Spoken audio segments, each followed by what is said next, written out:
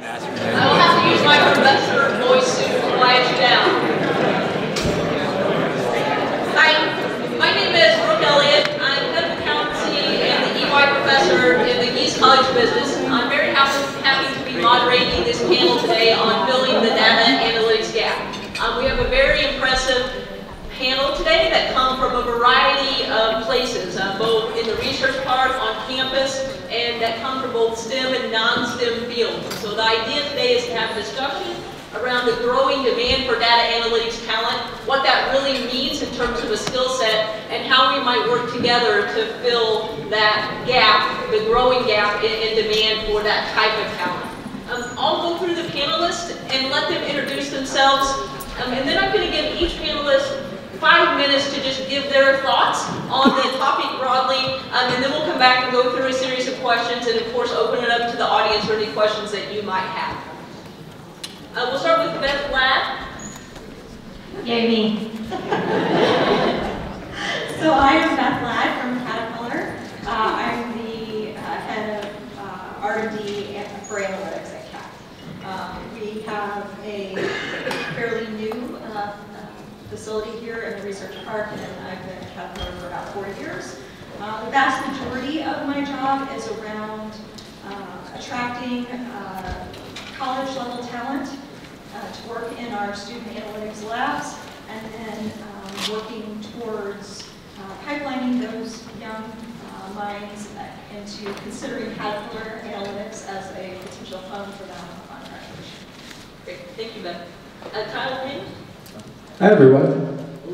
Okay, apparently I have the only mic that works. Uh, so yeah, uh, my name is Kyle. I uh, work at Google, um, and I spend about 30% of my time uh, either interviewing new uh, applicants for data science positions at Google uh, or Alphabet broadly, and also I spend another chunk of my time kind of engaging with our community of data scientists and with kind of prospective data scientists outside of Google. Um, I think my experience is relevant because I spent a lot of time at Research Park as an intern. Uh, I interned both at the State Farm Research and Development Center and at uh, Dow AgroScience, and so I think I have a pretty you know, strong understanding of what it takes to you know, go from a place in the research park and uh, use that experience to move on to other positions. Thank you. Um, Michael Fry. Uh, we have the distinct pleasure of being the panel right after lunch, so wake up. Glad you're here. My name is Michael Fry, and I work at Ameren as a senior data scientist. I've been at Ameren for almost a year now. We are an energy company out of St. Louis, Missouri. We cover, span parts of Missouri up through Illinois, electric in Missouri primarily, and then gas in Illinois. We have roughly 8,500 employees. And so we are on the forefront of data analytics, advanced data analytics.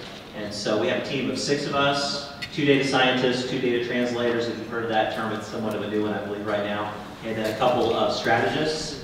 And so we are using data more heavily, getting ready to build out a data lake, and, and looking to do some really good things in that. And then last, um, no, not last, Darren Glosemeyer. Uh, yeah, I'm Darren Glosemeyer from the Department of Statistics at the University of Illinois, and I'm a senior instructor and professional development advisor. And what that means is, well, senior instructor, I teach. Professional development advisor is career services for the Department of Faculty. And I also do a little bit of corporate relations as well. So much of my work is preparing analytics talent for their careers ahead. Um, some of the courses I teach, advanced data analysis, data science foundations, and I have a professional statistics course where students do some consulting and we have presenters from industry come in to help them understand what they might be doing eventually. And then Rafael Pinterich. It's a great, oh, it's not working. Now we're back. It's a great pleasure to be here. I feel like I'm uh, coming back home. I used to live here in Champaign um, in 2013, 14. I was the one who implemented uh, our office uh, here in Champaign. Uh, so I've been with the company for 12 years, and um, what I do today, basically, I take care of the most amazing people in the beer industry. So I'm the global head of HR for technology, innovation, analytics, and all related tech uh, divisions. And um, so, data guy, now in, in people, in HR. So this is the cross-functional move that we believe is uh, the optimal, optimal, scenario to, uh, to develop people inside the company. So I'm, I'm, I'm great. To, it's great to be here, back here Chile. Thank you. Um, just to set the stage for the panelists, you know, whenever we think about the explosive growth of data in society, it leads to demand for a, a different type of talent.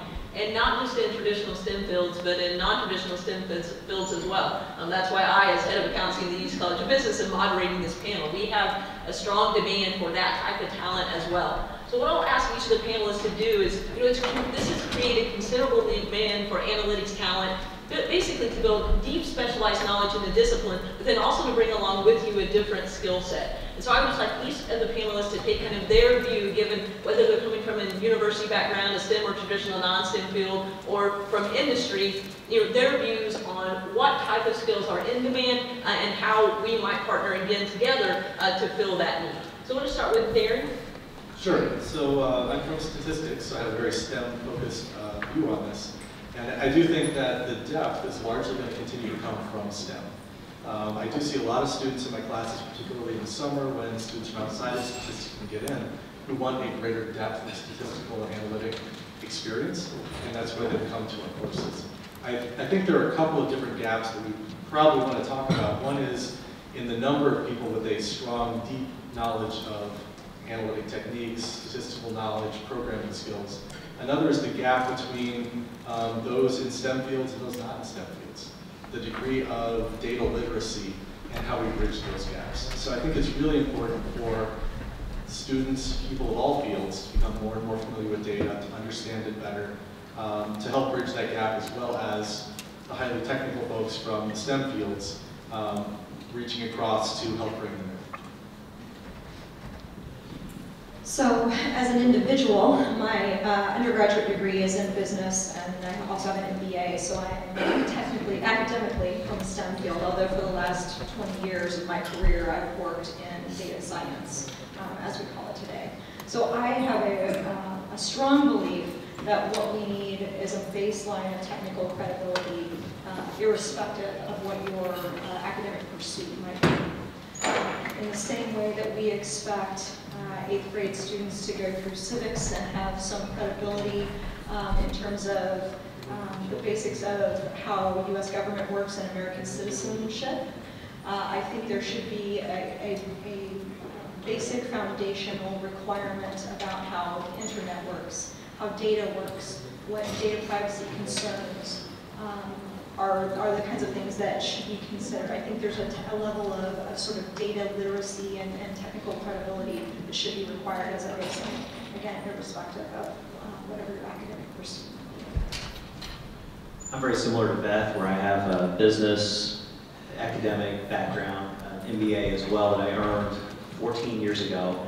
And so the education system has changed quite a bit in 14 years in what they're teaching, not only in MBA technology STEM courses, so the way that I developed the, the skill set to prepare me for data science, academically, I followed business. Obviously, economics, accounting, marketing, building a business plan. But professionally, I ended up, right out of college, I went to a company that was a software development company, and I made a decision. At one point, I could support a particular proprietary piece of that software, or I could start pulling reports and, and start generating data, querying data. And I chose to do that a long time ago, way back when, because I felt like that, that seemed like that's where things were going to go. And I continued to develop an understanding of data, ETL, full stack, and then building into BI, and then visualizations, prediction, and then moving into right now what we're doing at Ameren is trying to do some prescriptive things. And so it all just lined up and converged into data science. So I'm probably a little bit backwards from your, your typical STEM path,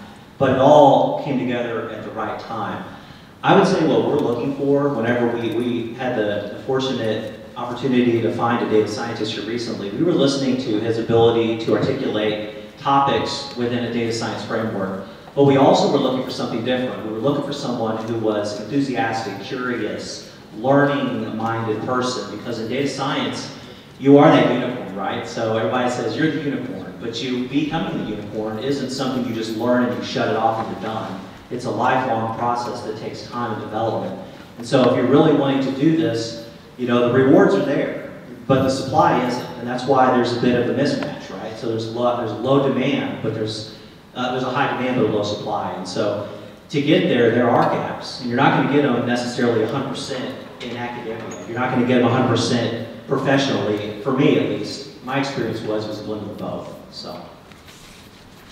So I have a pretty similar background to you, I believe, Darren, um, in that I kind of came up with a uh, sort of typical STEM background. So I got my bachelor's in 2014 in statistics, and then I stayed here for my master's uh, that I got two years later, also in statistics. So I guess I'm kind of boring in that respect. Uh, I think what we look at at Google is what we tend to message externally is what we call uh, T-shaped people, and that's not referring to the shape of your body, but uh, to what kind of skills that you bring. And what we mean by that is, you know, the long stem of the T. We want technical depth. Like we want you to be good at something. And I'll be explicit. When I mean technical depth, we typically mean statistics. Like you have to have a baseline statistical knowledge in order to, to succeed at, at a large-scale tech company. Um, and then more broadly, we want you to have a lot of interest. It's it's better to have less technical depth in something because you can always learn that. You can always pick up a textbook and learn about certain things, but you just have to be a curious person. You have to be the kind of person that spends an unreasonable amount of time on Wikipedia just bouncing around between pages, like wanting to understand different things. You have to be a kind of person that knows what a Cook's, you know, Institute PVI is because you were interested in why they were talking about that really the rest of the election. You, you generally have to be that kind of curious person. I think, uh, and I can only speak to my experience because I don't have direct reports, um, so I don't do hiring in the traditional sense, but I do interview a lot of people, so I do have a hand in the hiring process at Google. And I think most, the most typical case in which I've had to uh, reject a client is because they lack a baseline, a, a basic statistical literacy. Um, and I'm just interested, by show of hands, who knows what deep learning means? So again, who knows what a t-test is? Okay, so it's about the same, right? Like it's roughly 50-50. And I think that's a problem. I think that uh, things, knowledge should scale with technical ability, and deep learning is obviously much more uh, difficult than a t-test, right? But you know, not every not every single problem requires you know a, a densely connected neural network. There are a lot of problems out there that are very simple, and they require much more simple solutions. And so um, I think part of the issue is that as uh, and I consider myself to be both a representative of, um, of Google and of the statistics community in general, um, is that there has to be sort, sort of a reconciliation between statistics as a field and data science more broadly, because I think so far, uh, and this is just my own sort of anecdotal experience with people in the field of statistics, that they sort of go like, oh, this data science stuff, like, it's exciting, but like, you know, we're doing, we're doing the real stuff, we know the actual secret sauce. But we really don't. and I think what's important is that we take in more, you know, we learn from you guys just as much as we expect to, the non-statisticians learn from us. So before I talk about talents, uh, decided to tell a little bit of the story about AB and how we've uh, grown in the past few years uh, from zero to, uh, to a very good capability in terms of analytics. So basically we see two different clusters of companies, global companies. The digitally born companies like Google's, Amazon's, and the known uh, digitally born companies like us. And mainly the CPGs are on that cluster, right? So companies like us, we have to go through a major transformation, or major digital transformation, not only in technology, but also on the talent, perspective. So really adapted ourselves to, uh, to the new demands of, of talents. So basically, uh, we've uh, we started here in 2013 in Champaign, Illinois. So uh, it was our first global uh, capabilities and office focused on data analytics. And normal, uh, normal mistake of a company trying to, uh, to get into the environment of, of, data science. So we get a bunch of amazing people with uh, data science uh, background, and we expect that uh, you know these talents will come up with the solutions or the secret sauce, like you said, uh, for our problems. But that's not exactly how this happens, right? So we understood that we needed to develop a lot our internal capabilities on getting more close to the business and make sure that we would be tackling the, the, the pretty much the business problems that is part of the strategy of the company. We evolved and then we developed the different, different centers across the globe. So mainly our capabilities in analytics were built here in Champaign and also in India, in Bangalore, where we developed the, the Growth uh, Analytics Center and uh, later consolidated under the same umbrella. So basically what we call API uh, analytics. So today we operate hybrid. So we have global uh, center of excellence of analytics, but we also have in our geographical zones analytics teams plus inside each business function. Okay, so basically it's a hybrid COE uh, center of excellence and a hybrid uh, uh, business uh, analytics functions. So uh, this is actually a material from Accenture that uh, we use to set our dream. So our dream is to really to be uh, the leading company on, on the CPG sphere in terms of data analytics. So we started from zero. Today we are pretty much leading the way along with uh, P&G. Our, our objective is to really go beyond. Uh, this is the type of capabilities that we have today, so many different things working on predictive analytics, but also simulations, discrete trust modeling, uh, going to the deep level of uh, zip code uh, type of data in US, for example, to understand consumer behavior, uh, and also exploring new things, such as uh, smart agriculture, that we're working with uh, here in the research park, but also going for, for example, building the brewery of the future, fully automated and, and fully analytics. Uh, in terms of talents, that's pretty much what we see on an end-to-end process, right? Um, basically, data is separated from analytics, but when we look at the, the full end-to-end process, we have multiple things. So we have data engineering and infrastructure and the data uh, architecture that is also a data talent type of profile. And also we have data analytics at its core, so pretty much data science. And then we have the technology. And this is something for me that is really game changing analytics itself alone can bring a lot of insights, but cannot be consumed at scale and cannot be uh, uh, pretty much uh, generating the, the, power of the value without technology behind? So today, uh, machine learning, artificial intelligence, natural language processing, so all of this IoT is pretty much uh, uh, solutions that we see in the future, game changing, that every type of things that we do, we try to embed analytics inside the solution and the applications to make sure that this is sustainable and scalable. And in the end, what we have is the business translator, so the business analytics. And when we look at the, pretty much the full, uh, and talking to other companies and uh, we benchmark against other companies, we see that this is the biggest gap, the business translator. Someone who has pretty much the knowledge or technical knowledge of analytics, plus the business acumen, business understanding, and can talk to the same language as the business, right? So I think this is for sure, I would say, the sweet spot in terms of um, talents that uh, most of the companies and global companies are looking for right now. Uh, just a few things that we're doing, cool things, uh, to com combining analytics and, and, technology.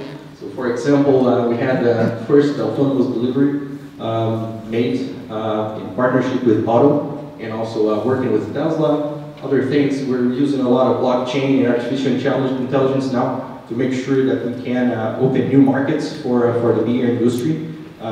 In US, a common problem is to sell alcohol to, to, to a certain age, so the legal, legal drinking age. We wanted to make sure that technology and analytics can bridge the gap and open, open new, uh, new channels for, for, for our products.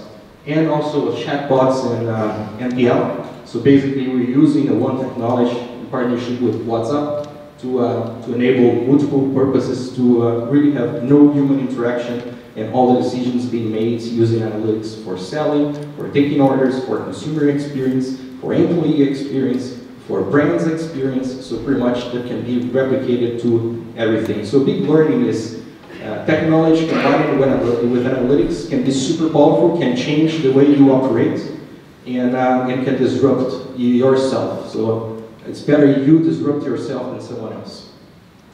Thank you. And thank you from the panelists. Um, I'll just ask the panelists to consider a, a bit narrower request, a question, and um, Darren might take a little bit of a, a different view of this question, but, you know, can you talk about how the data explosion has impacted your organization in terms of two things? Really, what your customers or clients expect, um, in terms of a solution or skill set that you're delivering, and then your demand for people and or talent uh, with a new and ever evolving skill set. And maybe Darren, from a university perspective, I would think, you know, does that impact uh, the types of students that you look to attract to statistics, and are you training them differently now than maybe you did, you know, three or four years ago to ensure that you're producing a student that the market demands? So I I think we haven't had any trouble attracting students. Um, In the six years since I've been here, our undergrad program has gone from about 175 students to close to 800. Um, The master's program, about 60 or 65 to about 140. And we've recently started to increase the PhD numbers too, now that we have a few more faculty to help, um, to train them basically. Um, So attracting talent hasn't been a problem. We would like to actually attract a little more domestic talent. That has been a problem. I think we probably see that across a lot of STEM fields. Um, As far as what we're teaching them, uh, we definitely have made some modifications. Um, Several years ago, Laura Frerichs uh, asked us to meet with some folks from Research Park, uh, a couple of them over at that table over there, Ken and Ross. Uh, They said, "We love your students, but they need to be able to program better." So we sat down and we talked about that, and since then, we've created a couple more classes that have more programming built in. Uh, we developed several other classes as well, more statistical learning at a less advanced level. We already had a statistical learning class at kind of the master's PhD level. Now there's one at more of the junior, senior, early master's level. Um, so we definitely made those sort of adjustments in terms of technology. Um, in terms of preparing them for careers, there have been adjustments there as well. Uh, but I should say on the technology side, a couple of those computing classes, one is a data science foundations class that gets into a little bit of Hadoop and large scale data analysis. Uh, another is a sophomore junior level statistical programming class, been really popular over the last couple of years. Um, on the preparation for career side, uh, we also hear sometimes that STEM students don't have the soft skills that other students do. Uh, so we've been working on preparing them for industry as well. I think our our statistics students, I think, don't quite fit into the same uh, mold of having real difficulty with soft skills that some other disciplines sort of get uh, saddled with. Um, in statistics, we've always been in the business of solving other people's problems. That's what we do, right? Somebody brings their data to us, they want answers from it, we extract that information. So there's always been kind of that communication. Um, so, you know, we're trying to get more project work into classes for certain. We've got a professional statistics class that I mentioned earlier, where we do consulting or mock consulting projects. The students are working in groups, they're giving presentations, they're writing reports. Uh, the other classes that I teach, I always make sure there are group projects in there as well. So I think making sure that we're preparing them to work with others, to communicate with others is definitely key. We can just go over that. So I guess, um, I think two things are key just in the time that I have been in the field of data science. The last several years, I think, as we've seen the, the evolution of the skills that are required, we've moved from what used to be lots and lots of packaged programs and, and, and um, sort of best of breed kinds of stacks to moving to a world where we're really um, looking at um, solving a lot of these bigger challenges with open source packages like R and Python, which um, necessitates a level of software understanding and programming skills that we just simply didn't need before. So as, as Darren has pointed out, and I've had um, some of my Darren students in, um, in my labs as, as Caterpillar um, team members, that, that transition is really, I think, what has necessitated um, the changes at the academic level to equip students to have those programming skills and, and basic languages that um, perhaps weren't as necessary before when we were, the world was a little bit more of a, a straight SQL kind of world. Um, as the, as the kinds of data uh, have gotten more diverse and the volume of data has gotten larger, um, the challenges that come with addressing that data in terms of the skills, the thinking skills and the analytical skills that are necessary have also become more complex.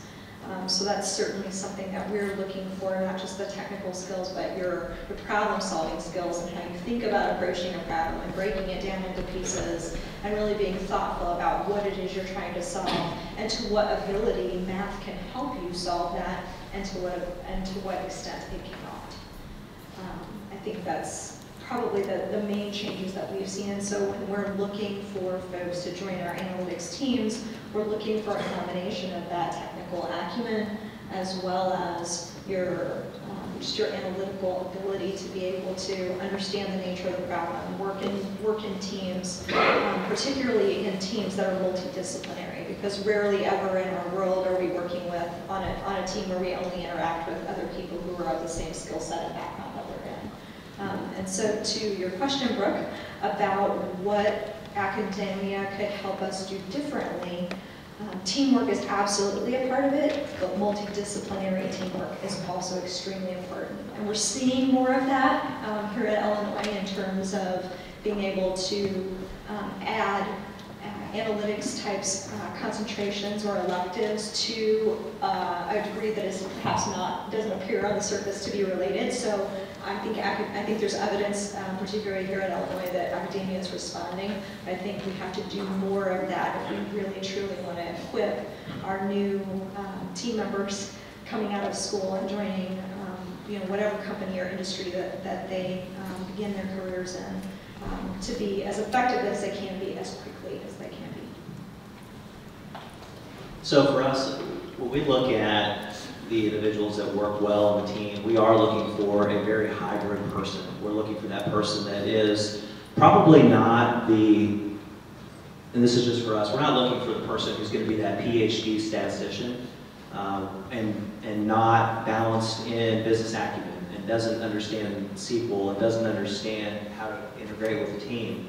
We're looking for someone who is strong in stats. We are looking for someone who is strong in Python, R, um, or what we had historically used was a enterprise system out of the box. I'm not going to say the vendor's name, but it starts with an S and ends with an S.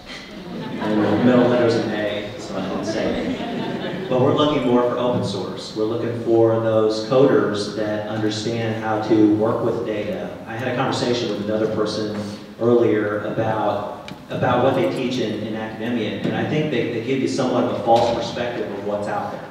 You know, I get a data set, or I get a couple data sets, and they're noisy. They're full of all kinds of gaps. It is very unstructured in some cases. It's messy data. It's not a nice little data frame that you just push through an algorithm. I mean, the predictive layer is probably the most straightforward part of it. Looking at the summary statistics, is it a good model, is it not? But all that work that goes into feature engineering, the cleaning up the data, and even getting it through cybersecurity, even getting approval to look at the data and governance and all of that backlog work, that takes time. And that takes communication skills, and that takes sales skills, honestly, because you, you kind of have to sell that you need the data. So it, it can be a challenge, and when we get the data lake, I think it'll probably be a little bit less painful, but the explosion of data in our environment has led us to, we have sensors. So we're in, I work at Ameren, uh, an energy company, so we have sensors in these energy generating, these very, very large scale boilers, and we have sensors that say all over the place, thousands of them that say is something off, is something on. That's good. But now we have an overflow of notifications, false positives all over the place, right? And I think the same can be said with data scientists. There's a bunch of false positives, right? Yeah? and, and I'm not saying that everyone is, but there are people that can say that they're a data scientist and they can code and they can persist data through a data model and they know when a model is good, they know what a t-test is, or deep learning or neural nets, but they don't, you know? And so it, it's hard to see through that. And, and so that's where we are, is we have an explosion of data. We don't really to be honest, we don't know what we don't know yet about it. We're kind of going backward and building in foundational pieces to prepare us to be able to more fully utilize the data. And we are a team of growing, so we will be adding people very soon. At this moment, we're not, but we will be, so. Yeah, so I think uh, an anecdote from an engineer that I'm working with on a product probably sums up like Google's position on the size of our data and that being an issue in that he said all really Google is good at is serving a giant table at scale. Meaning that we've learned like just through years and years and years of having an unreasonable amount of data. Like uh, that we've learned how to at scale serve just a table of numbers. and, and then that, the ramifications of that is that you end up with YouTube or you end up with Google Maps. Um, I think you see at Google, um, our main problems are that all of our data is, is pretty much unstructured. And so there's no such concept as like loading in a CSV file. That just doesn't exist. I mean, uh, I pray for the day that, uh, like the days that I get to like we call it Dremel, which is our version of our high-speed sort of data aggregation systems, um, where I can just send a SQL query to it. More often than not, than not, it's like writing a MapReduce. And so I would agree um, with, I think the general sentiment here is that there's a, lar- a very long tail of things that you have to do as a data scientist from day to day that is not statistically balanced, that is more on the side of like actually building pipelines and like coding multiple languages and making sure that your data is consistent. Once you get past that, I think our uh, data is at a scale um, that we have to be extremely clever not to do things wrong, um, or to do things with any sort of speed or any sort of um, assurances that like the algorithms that we fit are actually converging in the way that we intend to. Um, because when you work at data at our scale, you don't get things like if you want to run like a, um, for example, like a Bayesian to you know factor mix model, you can't look at like the um, convergence plot in Stan because it would crash Stan because we just had like there are too many numbers grinding through the system. Um, so you have to be very clever to make sure that your core assumptions are valid from the get-go. Um, more broadly speaking, I think that uh, our sort of core competency is uh, tooling. Um, a lot of the work that we have, and you see this with tools like MapReduce, TensorFlow, BigQuery, a lot of the things that are now uh, included on Google Cloud Suite, which is my, I think, obligatory pitch for that. Uh, a lot of those uh, technologies that we're now surfacing to businesses um, externally has, have existed at Google for years. Um, and that's sort of how generally we release products, is that we release them to engineering staff first, and we sort of like build up and understand and A-B test until we get a nice product like BigQuery. Um, if you've seen BigQuery before, you work with Big, uh, um, it is what we've been calling Dremel at Google for years. Um, and so through that sort of like process of experimentation, we're able to build up the technology and the tooling such that a lot of the actual difficult stuff is sort of abstract. So when I say I write a MapReduce, I actually write a really nice wrapper around a MapReduce. I'm not actually handwriting MapReduce. I've actually looked back at our code repository of like MapReduces that people had to write by hand and it looks good. I'm really glad that I never had to do that. Um, in terms of talent that we look for, I can only speak to uh, my experience as, as a statistics student. Um, I think that the courses that benefited me the most as uh, a data scientist today are the ones that were computationally aimed. So things like Stat 428, at least that's what it was called, uh, which was statistical computing, was an awesome course uh, because it taught me just about randomization, randomization in the context of algorithms. Um, or thing, concepts like sampling, which become extremely important when the scale of your data is so big that you couldn't ever fit an algorithm to your entire data set. It just is impossible. Um, I do think that, uh, and I was very lucky as an undergrad to take a ton of uh, CS courses. I believe I was only like one course short of uh, minor, um, so maybe I should have tried to actually get it, but I didn't. Um, I was very lucky to be able to take a ton of CS courses, so I took things like numerical methods and um, whatever like the, the core, um, I think like C++ course that they teach here. Um, and so I came into Google and like my previous position at Nielsen with pretty strong programming skills. And I think that that is something that's absolutely essential. Uh, we see a lot of candidates that come in and they are basically told that they're going to be you know, useless for the first six months. That's because our engineering systems are extremely complex. And you have to be able to build a core competency with your engineering systems. And uh, having students that come in with a mixture of computer science and um, physical skills would be amazing, and they just currently don't exist as people. Um, to the point of communication, I think that I'll have to disagree slightly with uh, Darren, is that I do believe that the pejorative sort of STEM belief that uh, people in STEM can't communicate completely extends to statisticians. Um, and so I think one thing that we specifically select for are strong communication skills. Uh, I've had extremely brilliant people that I've interviewed uh, that are PhDs in statistics or quantitative political science or quantitative sociology at places like Stanford and Berkeley that I've had to say no to because they cannot communicate. They cannot fluently speak about the things that they care about. And so one thing that I would suggest to any student here, and especially any grad student, is that if you get an opportunity to teach at some point in your, in your grad student career, I think teaching is the number one most effective way to build good communication skills. So I TA'd for two semesters in my final um, year of grad school, and I pretty much solely attribute that as my ability to pass the Google interview process, which is uh, broadly known as being extremely brutal, uh, because it requires four technical, four 45-minute back-to-back technical interviews, where you have to speak fluently about these difficult concepts and with a smile on your face and seem like you're you're very positive. And that's something that you kind of learn as a teacher, especially as a tired grad student. You learn that as a TA. And so I think one avenue that we could, like, I think broadly speaking, you know, part of the, you know, uh, one of the topics of this panel is to uh, talk about improving communication skills. Uh, and I think that pragmatically, if anybody in this audience is here, if they have a- the opportunity to teach, I highly suggest that you seize that opportunity. So what, what we've been uh, seeing in terms of demand and, uh, and also uh, uh, how to attract talent so on, on on the, the data analytics field is first is to really have a purpose, to really have something, a challenge that, uh, that would resonate well with, uh, with, the, with the talent that is uh, interested on joining the company. Uh, if you don't do that, uh, probably most likely you're not going to have the best talents. So it needs to be something with a purpose, and I can give some examples. Uh, for example, the team that is developing the intelligent uh, agriculture and smart farming. So what they're doing today, they're, they're helping farmers to, uh, to develop their skills in terms of being better farmers, right? This will help the industry to grow um, um, uh, better grains, better quality of products, but at the same time, they're impacting on the community and the life of people. So this is a big purpose on someone working, for example, on this type of experiments. Right?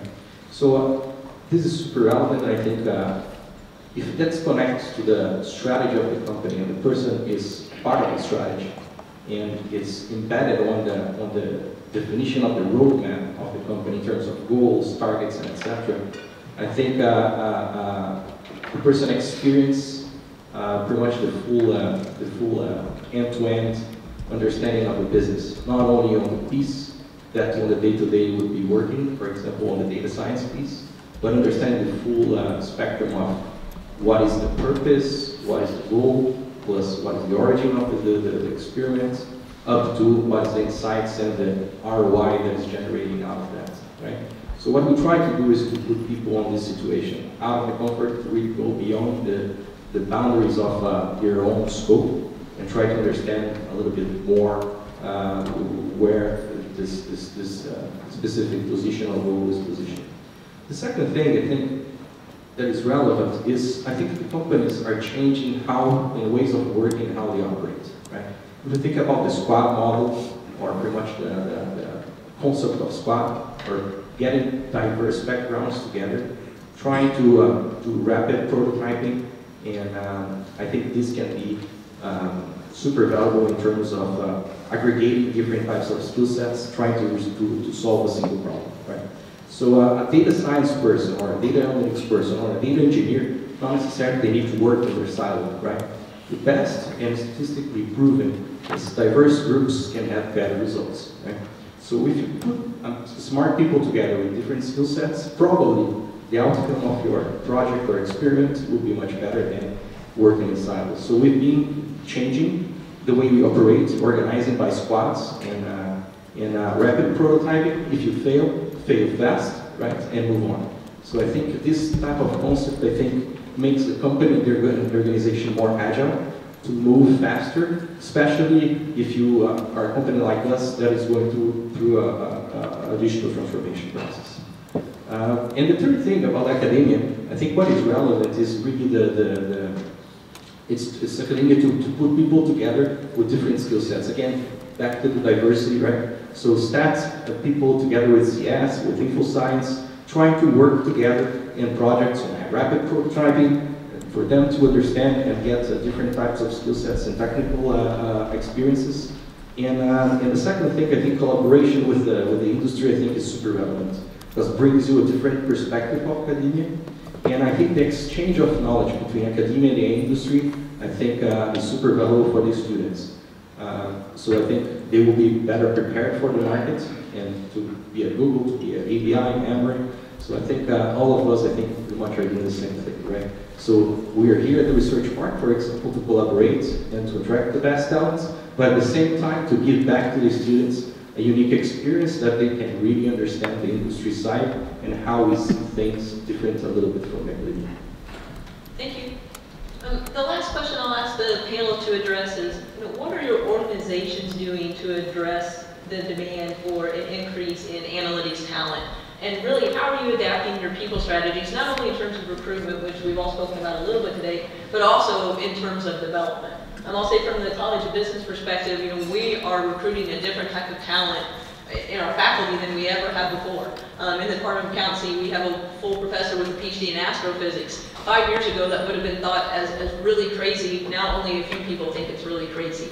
Um, and so, you know, we contend, we continue to just hire different types of people. Um, as head of accountancy, I'm not interested in hiring even a tenure track faculty member who doesn't have some interest in embedding analytics or technology in one of our courses. And, and it's, we've never thought about hiring in the College of Business in that way. Um, we're also making big investments in terms of upskilling the skill set of our current faculty who maybe, you know, got a PhD at a time in a business-related discipline where analytics and technology was not a focus. So I'm just curious to hear how your organizations are investing in talent that you have and make, ensuring that the talent that you do attract uh, keeps on the leading edge. And maybe we'll start with Rafael. Okay. Uh, I think two things. On the attraction side, uh, what we've been doing is, is, is pretty much building programs on the attraction piece in partnership with uh, universities in the US, in India, in Brazil, in other countries, in a very similar way, standard. Um, but it's not an attraction program, it's an experience program, right? So basically we attract people to be part of a, a program, that 10 to 12 weeks uh, program, that pretty much is put in on a spot with, uh, with, uh, with different type of skill sets. So basically we have engineers, we have developers, we have data analytics folks, cybersecurity folks, and normally we bring a startup from the ecosystem, from Silicon Valley, from, uh, from all different places, to work together to develop something tangible, right? So we wanted to make sure that these people, uh, when they have this experience, they understand the culture of the company, but at the same time, they are able to deliver something that they would be uh, pretty much proud of it, right? So this past uh, program that we finished a few uh, weeks ago, so we had, uh, for example, a vending machine that we developed in 10 weeks uh, that do sobriety tests, uh, pretty much with a finger, fingerprint in seconds and more accurate than breathalyzer, right? So just a smart, young, talented people together, putting their brains to develop something that is simply amazing, and now it's a patent pending uh, product. So um, uh, this is the type of things that we're doing on, on the attraction side. Putting an experience and not only, uh, uh, you know, bringing interns to, uh, to, uh, to work in several different projects and uh, outside the business. So we're putting the, the students in the center. Uh, the development piece, I think it's important. And I think the motivation for, for the talents on, uh, on the analytics field, I think it's to understand uh, uh, how they progress in terms of learning, right? So uh, recently what we're, we're working in, in is uh, developing a career path uh, in technology and analytics. Uh, that they can understand that they can go beyond their own um, um, area of, uh, of uh, expertise. Because ultimately, what we want to do is to embed the analytics across the functions. Not only be centralized anymore, but make sure that in every function, like sales, marketing, we have the analytics uh, embedded on the, on the operations. So in order to, uh, to, uh, to make it happen, we need to make sure that we expose people to those uh, different business functions, right? And, and naturally, the cross-functional uh, moves is, is, is already embedded in our culture. So I'm a, a finance guy that uh, was the head of analytics and now I'm the head of HR. So this is, naturally, this is something that happens in our company. We're just using this as, a, as an avenue or a, a vehicle to make sure that with the talent from the tax perspective and the analytics perspective are in the same uh, uh, approach and then we have pretty much uh, um, our tech analytics folks uh, embedded in all business functions. Now, more and more, we see that um, we see that uh, analytics skill sets. It's going to be some. It is already something that uh, is a pre-requirement today, right? You cannot take decisions anymore based on gut feeling or business knowledge, right? Today, it's uh, every company, small, big, and global companies, they have to take decisions on a data-driven basis, right? And if you have uh, this type of skill sets, you can have better judgment on taking decisions, right? So uh, uh, that's the culture that we, that we are developing, is to make sure that the full business uh, is, is embedded with, uh, with analytics uh, moving forward. So I think on the attraction piece, like, I don't, I think Google for a very long time, we kind of rested on the fact that like, there's a perception, at least internally, that everyone wants to work at Google, um, or like a lot of people do. And uh, that doesn't, that's not really tenable nowadays because there's tons of competitors, and it's not un, uncommon that we have somebody that we extend an offer to um, that would have accepted it two years ago, but instead went to someone like LinkedIn or Facebook because they were able to uh, get more embedded on a more interesting project, or they're more interested in that company's long-term growth. Um, so I think uh, there is a general perception uh, at Google um, in the data science community that maybe about 10 years ago the statisticians came in and we uh, rigged the questions for the interview process such that uh, we only accept statisticians and then we slam the door on everybody else. And I think that we're working extremely hard to make sure that's not true um, anymore because uh, I work with a ton of dudes that are from Stanford, from the stat department that's a problem, right? We want, like you had mentioned earlier, we, it, a team only works as well as it's as it is diverse, right? Diverse opinions and diverse backgrounds work better together than undiverse opinions and undiverse backgrounds. And so we're working extremely hard to make sure that we get people from a lot of different areas and a lot of different backgrounds, such as why I'm here, right? This is not a typical, I think, university that like a big tech company used to like try to recruit from, and now we're trying to recruit from because we see that the depth of talent, the depth of people that come from this university and how they interact with other people that come from other sort of backgrounds and other sort of universities, um, we just tend to build better teams with more diverse opinions and more diverse backgrounds. Um, for the component of the question, which was like, how do we like sort of foster, you know, analytics uh, more generally? I think it's, I don't have a clear answer. I'm, I'm maybe not like the best person to answer this because I am like a, you know, STEM to a T, unfortunately. Like I, I do come from a statistics background, uh, and I basically only took stat computer science classes. So, um, but I do think it is easier uh, now than ever to get a data science background. I mean, you can go to Codecademy or uh, Data Robot, or you can take uh, do practice questions on things like Hacker Noon and other websites like that. There are tons of resources to learn data science from a non-traditional background, and those people are awesome. They always come in and they always blow us away. There are um, companies like uh, Metis and Galvanize that uh, have like longer form uh, sort of like data science training programs, and generally those people come in better prepared than someone that uh, is just coming in with a university degree. Um, and I think it's because they learn very intensively the sort of core competencies that are necessary for a data science background. Um, I, I do think that diversity, um, I, I, know I've kind of I've been the person up here uh, preaching uh, the magic of statistics and like uh, being the advocate for statistics here, but I do think that uh, the best people that we hire, the people that do the best are people that don't come from strictly statistics backgrounds, but uh, come from some sort of quantitative branch of another background. Uh, for example, my technical lead has a uh, PhD in sociology. He was a former professor at, in Paris um, of sociology, and he just learned data science skills on his own, and then he applied to his research, and then he decided that he wanted to go down that path, and he's awesome. And I think the reason that those people are always awesome data scientists is because it doesn't just take a knowledge of statistics or computer science or cloud computing uh, to be able to do your job well, but you have to understand subject matter.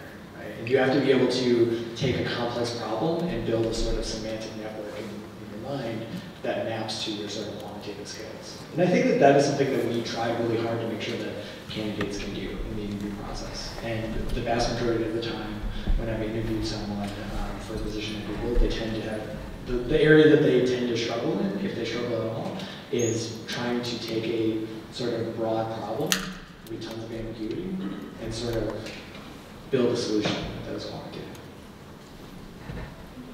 We don't have the luxury of being Google, so the name doesn't mean a whole lot when we say, we're Ameren, all right, technology. Oh man, you guys, I was, I was your customer for many years. so- We're good. But we are, we're not a stodgy old utility company. We are a company that's moving forward. We're, we're making strides in analytics. And how are we doing that? We are bringing data to many of the conversations, and we're also spending a lot of time networking with universities. We, we have a spot over here in Research Park that Owen Doyle leads, and he interacts with students very often. We also have a relationship with St. Louis University. We have four students coming in to join our team coming January for a couple of months on some projects. And so we are, we're very interested in doing what we can to bring students in and teach them the real world of what data does for Ameren. We're also looking to network, and we do a lot of things in networking outside of Ameren. One of the stories I like to share that, that recently, now I guess it's been a little while, that worked for me was I like LinkedIn. I'm a big LinkedIn fan. That's my playground. And I read a book some years ago by a gentleman by the name of Vincent Granville. You guys have ever heard of Vincent Granville? He, he wrote this book. It's called uh, Developing Analytic Talent. And it was a great book, so I'd encourage you to read it if you get a chance. He's also the creator of a website called Data, Data Central, or uh, datasciencecentral.com. And it's a really good, it's another playground for me. I love going out there. There's some really innovative thinkers on that site. And I didn't know that until I went out to LinkedIn. and I looked up Vincent Granville and I said, okay, I'm going to try this. I'm going to try to connect to Vincent Granville through LinkedIn. I could have followed him, but I invited him to join my social network and he did. He accepted.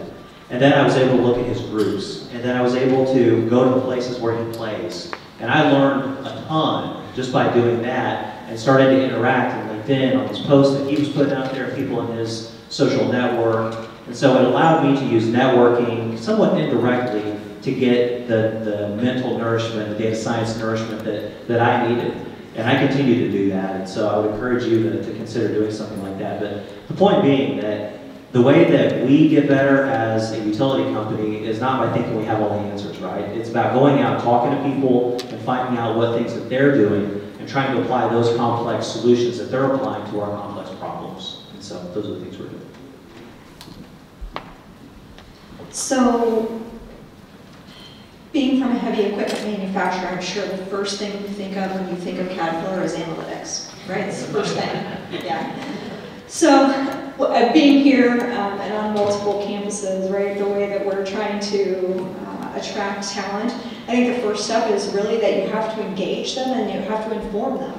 They have to think about Caterpillar as a company who has data and interesting technical problems to be solved um, with a variety of business um, tools, data tools, and technology tools. So, so that, that first step is really just engaging and informing people that whether or not that's how um, your company might be perceived off the cuff, those uh, interesting business challenges are still there and they're ever present in any company, in any industry. So just getting them informed that there are cool analytical problems to solve at Caterpillar is the first step.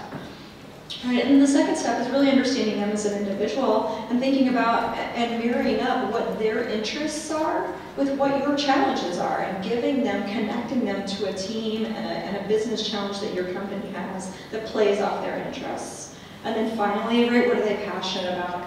If you can match up what they're passionate about, that um, that that educational, that interest, the, the personal interest, whatever it is, uh, like the, the gentleman that you described that sort of turned his career um, towards data science out of need in his, in his um, research career and then decided that, that he wanted to take a different turn in his professional career. If you can match up, if you can find those passions in people and play to them and, and design corporate um, human systems that will allow that that and enable and, and, and propel people through those paths in your company, you can start out as a data scientist and end up as the chief people officer. Right, so, so I think the key and the challenge for all of us in corporate to attract talent is to change our internal human systems so that we can, we can attract and educate and engage um, with people's interests and talents and then propel them through our companies and keep them with us. Because they're hard to find, they're expensive to attract, and they're even more difficult to replace once we've had them for a while and they've built some subject matter knowledge um, in our companies. And as far as the Department of Statistics, we've been hiring and hiring, hiring as much as we can. Uh, Some of the ways we've changed our hiring, we've got a big non-tenure track search in progress right now to bring in more teaching and clinical faculty um, who may have backgrounds outside of statistics. Um, They have more computational background, they have more background in biostatistics or or biology in general. Those are a couple of areas we've had targeted, data science and biostats in general recently. Um, So that we can try to keep up with this flood of students as we come in. Uh, We're also recruiting tenure track faculty as well, so we've got one of those searches in progress as well. So we're trying to staff up as quickly as we can on the faculty side.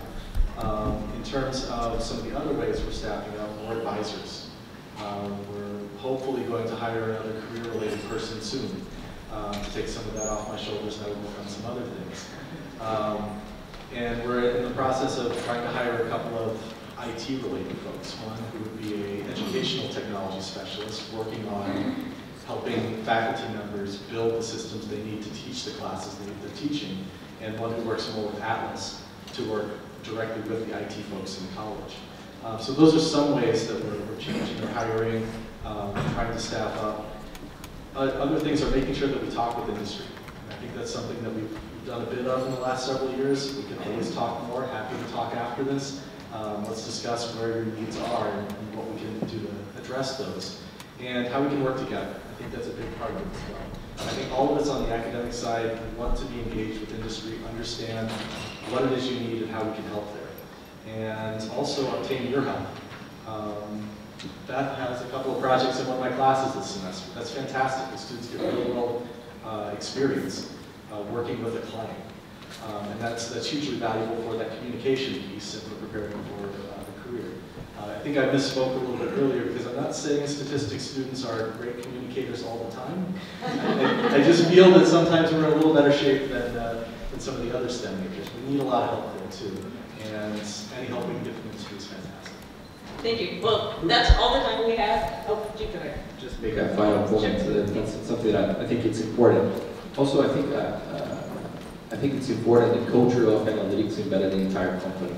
I think this is something that, uh, that we're investing right now, so our, Carlos Brito, our CEO, is taking now a training, a full training on technology and analytics, and also doing uh, reverse mentoring with uh, new talents, uh, young talents, and uh, I think uh, putting one of the top CPGs in the world and the CEO dedicating time for this, I think it's super relevant, and I think all companies should be doing this, especially the ones that are going through a major digital transformation, to make sure that your C-level and, the, and the, pretty much the leadership is, is, is, is pretty much committed to making things happen through analytics and through technology.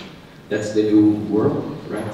If they're not in this uh, uh, type of sphere and, and knowledge, probably their decisions will not be uh, most digital ones, right? So for them to speak the same language, you need to empower them with, uh, with knowledge. And your talents, and especially the ones, the young ones that has, uh, uh, that have pretty much the, the, the new concepts, new ways of operating, the new uh, motivations, are the ones that can really change uh, pretty much their perception on, on how things are going to be in the future, right? So um, I would like to invite all of you talents that are coming to the, to the industry to really bring this, uh, this type of behavior to the companies and, and for the companies that are here really to, to, to invest on your senior leadership and make sure you cascade down to the entire organization, the culturalization of uh, technology and analytics. Thank you. Trevor, we could just join you thanking our panelists.